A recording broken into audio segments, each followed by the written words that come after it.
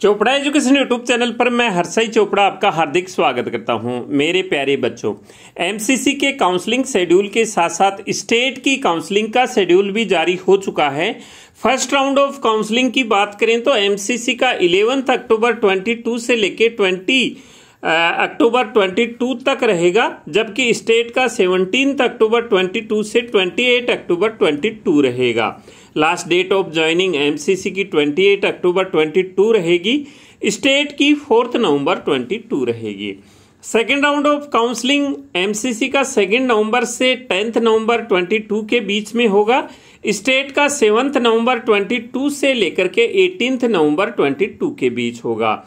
Second round की last date of joining MCC की eighteenth नवंबर 22 रहेगी। और स्टेट की thirty first sorry twenty first नवंबर 22 रहेगी।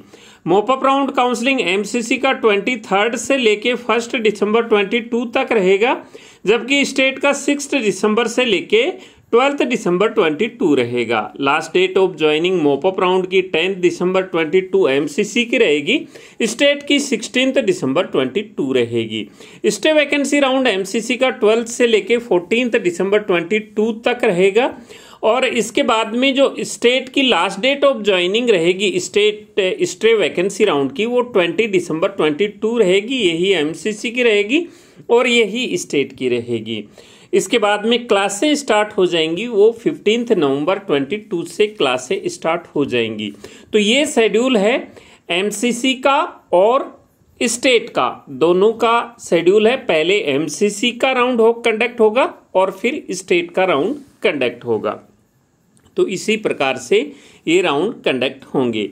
अगर आप काउंसलिंग के बारे में जानकारी लेना चाहते हैं तो हमारी बुक डाउनलोड कर सकते हैं। इस वीडियो के डिस्क्रिप्शन बॉक्स में लिंक है।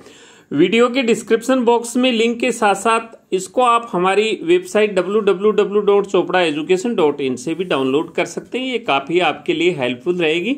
तो मिलेंगे नई अपडेट के साथ नए वीडियो में। तब तक के लिए जय हिंद।